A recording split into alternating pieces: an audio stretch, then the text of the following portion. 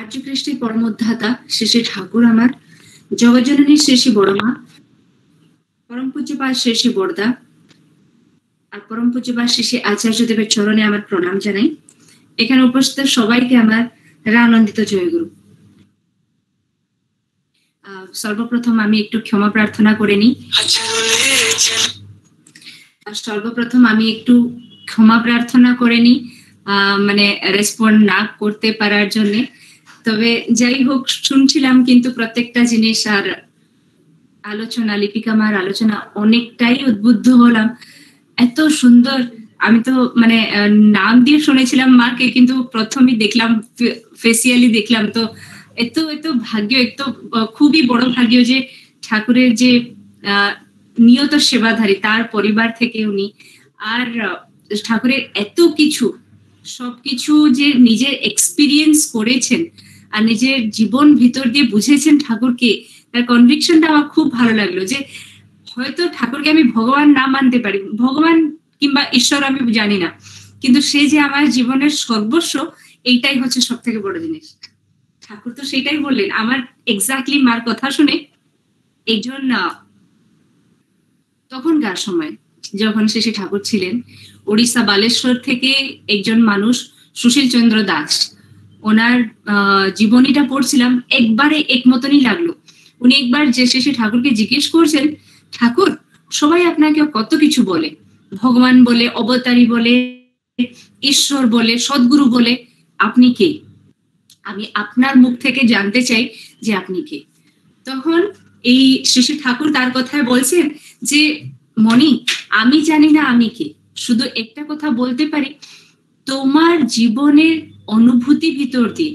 যদি তোমার মনে হয়েছে আমি যা যা বলেছি কিংবা বলছি, তোমার জীবনে কোনো কাজে আসে, আসবে, তাহলে করে দেখো।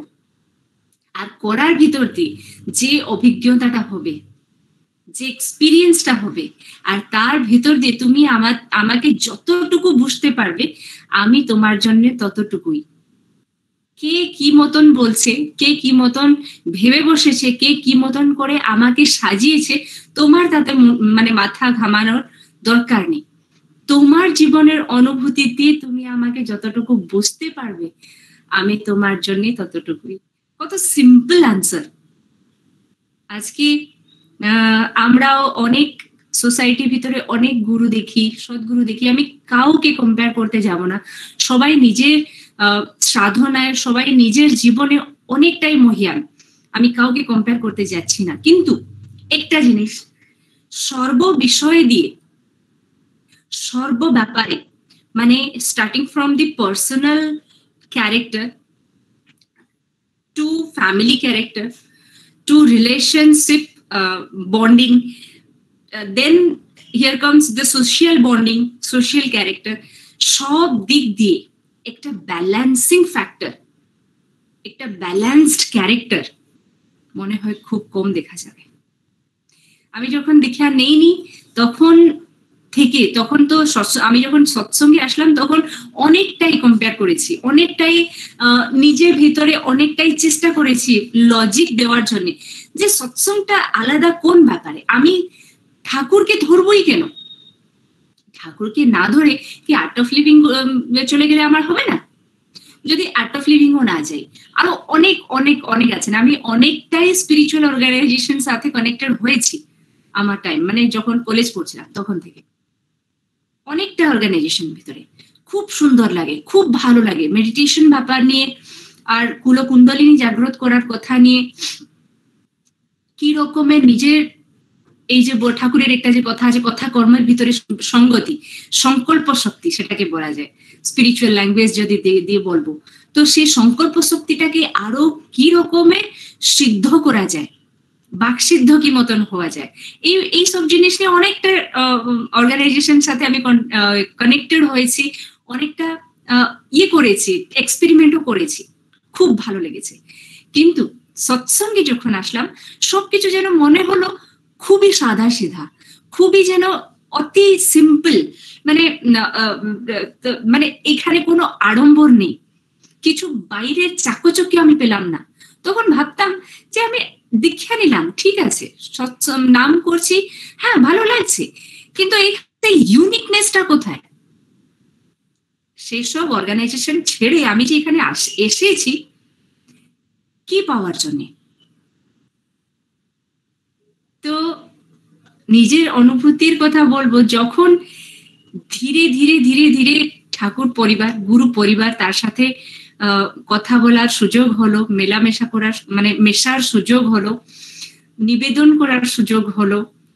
আর যতজন গুরু ভাই মানে ঠাকুরকে যে, যারা সবাই ডেডিকেটেডলি নিয়ে চলছেন, তাদের সাথে যখন মেশার সুযোগ হলো, তার ফ্যামিলি কালচার দেখার সুযোগ হলো তার পার্সোনাল সাধনা অ্যানালিসিস করার সুযোগ হলো। তখন বুঝলাম যে কেন বলা যায় পুরুষোত্তমকে যে সিম্পলি গর্জিয়াস ওয়াইজলি ফুলেস এই জিনিসটা কেন বলা যায় তখন তখন আমার মাথায় ঢুকলো। সবাই বলে না কি তোমরা দেখি তোমরা খালি শুধু এই হোয়াইট পড়ো আর মাছ মাংস খাও না, আর শুধু খালি জয় রাধে রাধে করতে থাকো। অনেক কিছু কথা বলা যায় কিন্তু তার ভেতরে যে গুড় রহস্যটা থাকে, যে ট্রান্সফরমেশন এক টাইম ছিল যখন আমাকে মেডিটেশনটা সব থেকে ভ্যালুয়েবল বলে মনে হতো। আমি ভাবতাম তখন যে সবকিছু তো সার এর ভিতরেই আছে। কেননা যদি আমি একটু ডিপার চলে যাব মেডিটেশন দিয়ে, সবাই, সবার হয়তো মানে একটু এক্সপিরিয়েন্স থাকবে এই জিনিসটা নিয়ে, তো প্রচণ্ড আনন্দ। আর সেই আনন্দকে ছেড়ে বাইরে আসার মনে হয় না। তখন আমি ভাবতাম যে সবকিছু সার, সংসারের সার, সবকিছু আনন্দ তো এর ভিতরে আছে। কিন্তু যখনই মেডিটেশন থেকে বাইরে উঠি, তখন মানুষদের সাথে যে মেলামেশা করতে গেলে যে ব্যবহারটা লাগে, যে সেলফ কন্ট্রোলটা লাগে, যে বৃত্তি নিয়ন্ত্রণটা লাগে, কি মানুষটা আমাকে কি নজরে দেখছে, তার সাথে আমি কি করে ব্যবহার করব? কোনো একটা সিচুয়েশন খারাপ হয়ে গেছে হয়ে গেছে, তো আমি সেই সিচুয়েশনটাকে কি করে ম্যানেজ করব? এই নলেজগুলো কিন্তু ছিল না আমার কাছে। তো এই যে ব্যবহারিক জ্ঞান, একদিকে সাধনা, আরেকদিকে সাংসারিক জ্ঞান, সেই জন্য তো শ্রী ঠাকুর বললেন যে, আমি সংসারী সন্ন্যাসী চাই। ঠাকুর কোথায় বলেননি সংসারী চাই? ঠাকুর কোথায় বলেননি সন্ন্যাসী চাই? উনি খুব সুন্দর করে বলেছে আমি সংসারী সন্ন্যাসী চাই। সতে নাশ থাকা মানে মনটাকে সব সময় ইষ্টে। এমনি না যে সাড়ে দুইটা থেকে তিনটা থেকে ভোরবেলা উঠে গেলাম, পাঁচটা পর্যন্ত নাম ধ্যান করলাম, কিংবা ছটা পর্যন্ত নাম ধ্যান করলাম, আমার হয়ে গেল। না, ঠাকুর কি বললেন? সারা দিন, এক ঘণ্টা, ঠাকুরের একটা কথা খুব ভালো লাগে আমার। ঠাকুর বলছেন যে, গুরুর দেওয়া জিনিস কি এক ঘণ্টা, দু ঘণ্টা করলে হয়? চব্বিশ ঘণ্টা করা লাগে। তার মানে সতে ন্যাস থাকতে হয়। মনটাকে প্রত্যেকটা সময় সেই ইষ্ট ইষ্ট কাজে, ইষ্ট চিন্তায় যুক্ত করে রাখা লাগে। তার তার সাথে সাথে সাংসারিক, ব্যবহারিক জ্ঞানগুলো নিজের কাছে রাখতে হয়। তো it's a kind of multiple dynamic character we need আমি শুধু পড়াশোনা করছি? তো পড়াশোনা করছি? সাইড দিয়ে কি কে যদি কিছু বলছে, তার দিকে আমার নজর নেই। রিকোয়ারমেন্ট আছে? আমার সেদিকে নজর নেই। এই পড়লে কিন্তু হবে না। ঠাকুর সেই জন্য বললেন যে সত্যানুসরণ বাণী আবার মনে আসে, ঠাকুর বলছেন যে, নাম মানুষকে তীক্ষ্ণ করে, ধ্যান মানুষকে স্থির আর গ্রহণক্ষম করে। তাই শেষে ঠাকুর বললেন, অতি প্রত্যুষে নাম ধ্যান সহিত ইষ্টভৃতি করা। নাম ধ্যান করে আমার পার্সোনাল সাধন আমি করলাম। নিজের যা কিছু ডেভেলপ করার আছে, নিজের সিক্স সেন্স বলতে পারি যে আমার বৃত্তি নিয়ন্ত্রণ কমপ্লেক্স কন্ট্রোলেন্স সেই কন্ট্রোলিং ক্যাপাসিটিটাকে বাড়াতে পারি। নিজের যে ক্রোধ ভাব আছে, নিজের যে, যা কিছু প্রবৃত্তি আছে, তাকে যে কি রকমের কন্ট্রোল করতে হবে, সেই এনার্জিটাকে আমি বাড়াতে পারি মনে সাধনা ভিতর দিয়ে। তার সাথে সাথে ইষ্টভৃতি করে। ইষ্টভৃতি যখন করি তখন আমার ইষ্টের সাথে কানেকশন আদারওয়াইজ কি হয়?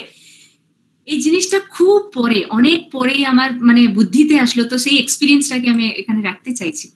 যে সাধনা করলাম সাধনা থেকে যে এনার্জিটা আসলো সেটা আমি কিন্তু ভেবে নিলাম যেটা হচ্ছে আমার এনার্জি আমি এত সক্ষম, আমি এত ক্যাপেবল আমি এত এলিজিবল আমি যা বলছি সেটা হয়ে যাচ্ছে।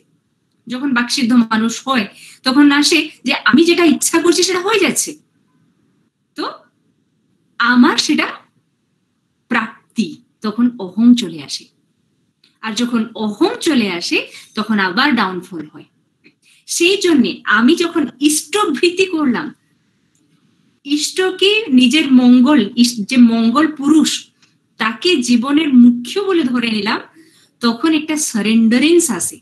যা কিছু করছি, যা কিছু প্রাপ্ত করছি সবকিছু কিন্তু আপনার আপনার দয়া থেকেই প্রাপ্ত করছি।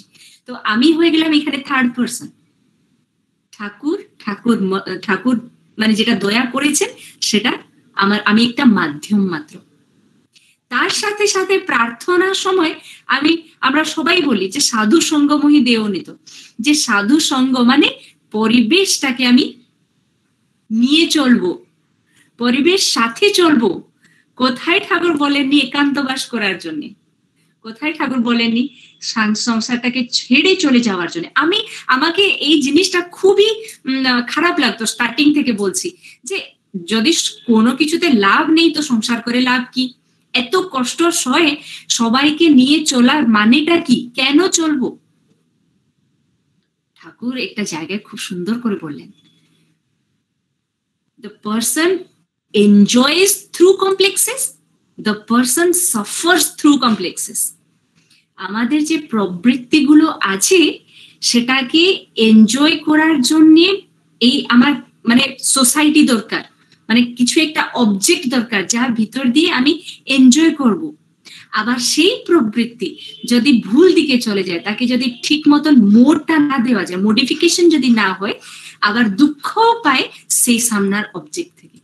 তাই পরিবেশ তো সব সময় থাকে। থাকবেই। আমাকে ডিল করতে হবে। মানে আমাকে সবকিছুকে নিয়ে, ইষ্টকে ধরে, তাকে একটা মোড় দিয়ে, ভালো মতন মোড় দিয়ে সুদিকে মোড় দিয়ে নিয়ে চলতে হবে। আমি ঘরে থাকি বা জঙ্গলে থাকি দ্যাট ডাজন্ট ম্যাটার তখন বুঝলাম যে প্রবৃত্তি তো থাকবেই। যারা সবাই প্রচণ্ড সাধনা করেন, তার ভিতরে শুনেছি যে প্রবৃত্তিটা প্রচণ্ড হয়ে থাকে। একটা সময় পর্যন্ত প্রচণ্ড হয়ে থাকে। এনার্জিটা প্রচণ্ড তাই কমপ্লেক্সেসও প্রচণ্ড হয়ে থাকে। তাই সেটা ইমব্যালেন্স হয়ে থাকে। ঠাকুরও বলেছেন তোমার ভিতরে ক্রোধও বাড়বে কামভাবও বাড়বে, হিংসাও বাড়বে, সবকিছু বেড়ে যাবে। লুক্কায়িত প্রবৃত্তি। কিন্তু সেটাকে কন্ট্রোল করব কি করে? যদি একটা কি বলা যায়? Controlling factor controlling factor neutral factor যদি থাকেন, তাহলে এই সব জিনিসগুলো, যা যা কিছু বেড়ে আছে, সুটাকে প্রশ্রয় দিবেন আর কুটাকে নিরোধ করবেন। আদারওয়াইজ একটা ডিরেকশন দিবেন। কন্ট্রোলিং ফ্যাক্টর সে নিউট্রাল ফ্যাক্টরই হচ্ছেন সে সেটা। গুরু। গুরু গুরু পরিবার, সবকিছু। এইটা বোঝা পড়ল অনেকটা পরে। যে বাইরের থেকে যে আমি সৎসংটার রূপটা দেখছি, শুধু খালি ভজন কীর্তন করা আর মানে খুব ভালো ভালো কথা বলা, না। ব্যক্তিত্ব রিফরমেশন যে কথা, কত কিছু নিয়ে একটা মানুষ, পাঁচটা মন, পঁচিশটা প্রকৃতি পঁচিশ রকমের প্রকৃতি একটা মানুষ ভিতরে। তার সাথে সাথে আছে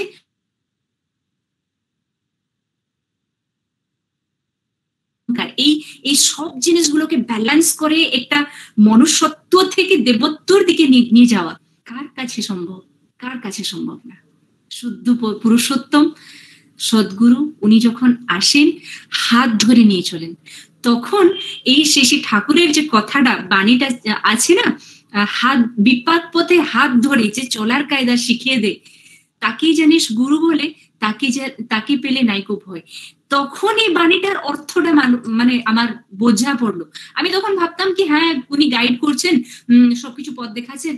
না, উনি আমার ভিতরে থেকে ডিরেকশন দিচ্ছেন। Through Satnam through meditation to our যখন আমি বৃত্তিটাকে কন্ট্রোল করার চেষ্টা করছি আর যখন সে সংঘাতটা হচ্ছে, তখন আমার ভিতরে থেকে আমাকে সাহস দিচ্ছেন, শক্তি দিচ্ছেন অনেক কিছু। তো ঠাকুর, এই যে মা বলছিলেন লিপিকা মা যে বলছিলেন কি ঠাকুর, ঈশ্বর, ভগবান, পুরুষোত্তম আমি জানি না, কিন্তু আমার জন্য উনি সর্বস্ব। যখন আমি অনেকটা প্রবলেমে পড়েছি, সে যা, মানুষ ডিফারেন্ট মানুষের হিসাবে পরিস্থিতি আলাদা আলাদা। তাই যার মতন করে, যে রকমের পরিস্থিতি ভিতরে আমি যখন অনেকটাই হাবুডুবু খাই, তখনই গুরু আমার সামনে দাঁড়িয়ে থাকেন। আমার মতন করে, আমার মতন করে, এটা কি সম্ভব? তাই সব থেকে শেষ জিনিস বলব, সময়ও সীমিত। একটা জিনিস মনে হয় যে without any compromising attitude without any kind of argument যদি আমি তার কথাটাকে হ্যাঁ মানব, এই অ্যাটিটিউডটা রেখে যদি আমি মেনে নিই, তখন সৃষ্টি হবে আমার অনুভূতি। তখন আসবে আমার জীবনের উইজডম প্রজ্ঞা, যেটাকে বলি। যার প্রজ্ঞাটা যত তার দৃষ্টিটা তত ক্লিয়ার দেখতে পারে। সে ধীরে ধীরে ধীরে ধীরে প্রজ্ঞাবান হতে হতে যে রকমের আজকে একটা ছোট্ট মেয়ে কিংবা একটা ছোট্ট ছেলে যদি তাকে যদি one plus one equals to two two plus one equals to three সেই মতন পড়ে, যখন একটু বড় হয়ে যায়, তখন চারটে ডিজিটকে অ্যাড করে পড়ে নেয়। যখন আরেকটু বড় হয়ে যায়, তখন পুরো সেন্টেন্স তৈয়ার করে নেয়। এই মতন করে করতে পারে। ফার্স্ট লেটার শিখলো, তারপরে ওয়ার্ড শিখলো, তারপরে সেন্টেন্স ফরমেশন করল, তারপরে প্যারাগ্রাফ পড়ল। সেই মতন হয়ে যায় মানুষ, যখন প্রজ্ঞামান হয়ে যায়। আসলে প্রজ্ঞাটাকে করার জন্যে, তৈয়ার করার জন্যে, প্রাপ্ত করার জন্যে দরকার গাইডেন্স অফ গুরু তো এইটুকু বলি। আর সবাই যে এখানে আছেন, আর সবার মঙ্গল প্রার্থনা করছে সে সেই ঠাকুরের চরণ প্রার্থে সবাই যেন গুরুকে নিয়ে জীবনে, ব্যক্তিগত জীবনে দাম্পত্য জীবনে, সামাজিক, পারিবারিক, সামাজিক জীবনে আরও আরও ইষ্ট কেন্দ্রিক হয়ে উঠবেন। এটাই আমার প্রার্থনা শেষে ঠাকুরের কাছে। জয় গুরুমা।